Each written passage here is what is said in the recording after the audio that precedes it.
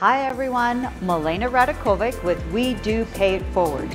Today I'm at Women Nation's Biz Brigade Conference, all about women entrepreneurs. There's some great panelists and keynote speakers and today you get to meet some incredible women entrepreneurs as they talk about their business and the tips that they have for entrepreneurs as well as what they got from this conference. So stay tuned.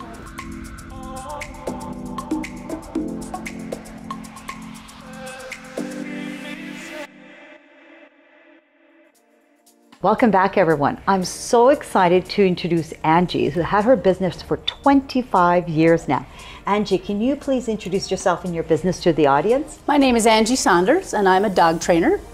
Uh, I specialize in behavior.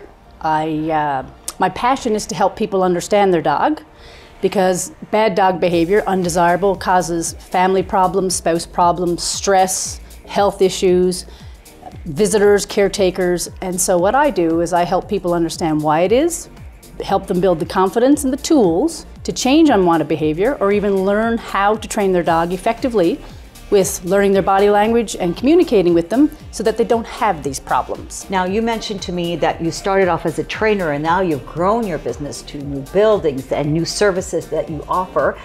What's great uh, learnings that you've had as an entrepreneur in growing your business so successful. Can you share with us? Well, I think just the miscommunication is I was there prior COVID, mm -hmm. and then now I've downsized and I just offer dog training, but okay. I have been there. Successes, I've won many uh, provincial awards, federal awards as a business entrepreneur. Fantastic. And so, but my passion lies with helping the dog owner, actually. Now, this has been a great conference, the Biz Brigade. Great speakers, great panelists. What's a great tip that you got that you're going to try and use in your own business now? To network more, to be out, to get the energy, the empowerment from uh, business owners, women, and entrepreneurs so that it does. It takes that I can't to I can. I love that. I always say collaboration and networking is really key. Women need to come together and support each other.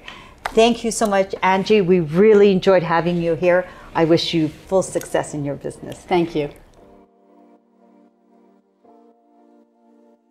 If you are inspired and want to join the We Do community, then go on WeDoCanada.com and also nominate and sponsor the next inspirational woman.